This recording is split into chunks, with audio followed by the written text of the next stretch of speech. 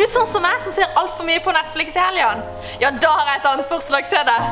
For 28. oktober så er det nemlig natturnering i Nygårdshallen klokka seks. Og du lurer kanskje på hva natturnering er for noe? Det er den feteste volleyball- og kanonballturneringa i hele Søgne. Og ikke bekymre deg hvis du suger. Du er ikke aleine.